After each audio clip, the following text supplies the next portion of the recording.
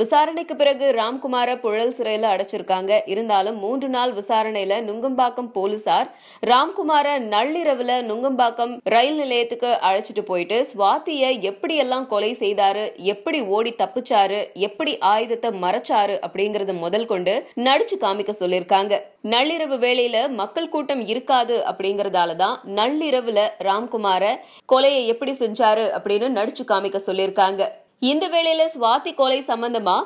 சுவாதி கொலைய வேற கோணத்துல விசாரிக்கணும் அப்படின்னும் தமிழ்நாட்டு போலீசாருடைய விசாரணை சரியில்லை அப்படின்னும் சில தரப்பினர்கள் சொல்லிக்கிட்டு இருக்காங்க. இந்த வழக்க சிபிஐக்கு மாத்த சொல்லி சில தரப்பு சொல்லிக்கிட்டு இருக்க வேளையில போலீசார் இந்த வழக்குல நாங்க சேகரிச்ச ஆதாரங்களே அளவுக்கு அதிகமானது. இந்த ஆதாரங்களை நீதிமன்றத்துல சமர்ப்பிச்சாலே நிராகரிக்கிறதுக்கு வாய்ப்பே கிடையாது. இந்த வழக்கு சிபிஐக்கு மாத்தினாலும் எங்களுக்கு கவலை இல்ல. எங்களுக்கு போதுமானதுக்கு மேலேயே ஆதாரங்கள் கிடைச்சிருக்கு. அதுவும் ரொம்ப உறுதியான ஆதாரங்கள் தான் எங்க கிட்ட இருக்கு. சட்டத்தில இருந்து ராம்குமார் தப்பவே முடியாது அப்படின்னு சொல்லியிருக்காங்க போலீசார்.